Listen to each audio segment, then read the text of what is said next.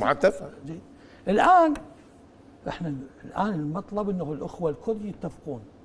الآن ما اتفقوا نعم. وما يتفقون والآن تطرح أمور.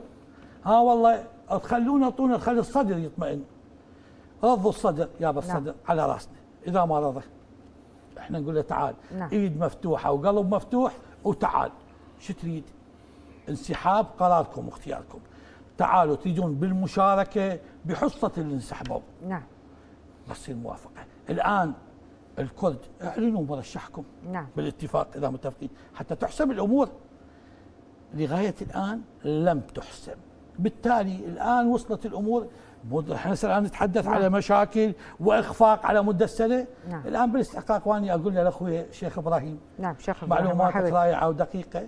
لكن هذه مال إن شاء الله نلتقي لقاء قريب. اني أقول ال- سيعلن اسم رئيس الجمهورية في هذا الأسبوع أو الأسبوع القادم. وراح أقول فد شيء نعم. سيناريوهات الآن أربعة. نعم تفضل.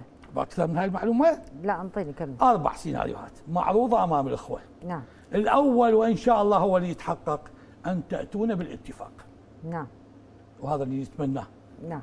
الكل يقولون هذا مرشحنا تفضل. ونقول لهم على العين والرأس وهذا مرشحكم وإحنا نصوت له. جيد؟ جيد على اعتبار بالمناسبة رئاسة الجمهورية عدة مرشحين، نعم يعني اكو أكو كرد وأكو غير الكرد نعم تفضل لكن الم- العرف نعم. السياسي هو يقول للكرد ما نعم. للكرد.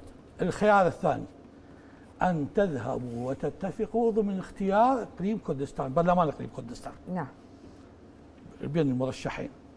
الخيار الثالث إنه يختارون نواب الكرد في البرلمان الاتحادي على اعتبار هو رئيس الجمهوريه الاتحادي. إذا ذني ثلاثة المسارات خو ما نبقى ننتظر. يدخلون مرشحين بعد خيار الكرد يجون مرشحين أهلا ومرحبا. يجون إحنا عندنا موعد تعالوا تبقى الأسماء المطروحة عندنا برهم صالح مطروح عندنا ريبر أحمد مطروح عندنا رزقار عندنا. عرب عندنا كذا وعندنا واحد من الجيل الجديد كل من يصوت حسب قناعاته. نعم. حتى تمضي الأمور. ما نبقى نعم، بعد نعم، إحنا نعم، سنة. خلاص دخل يجاوبك سيدي الوقت- أنا أقول. فأنا حتى. اعطي حتى أعطي تأكيد.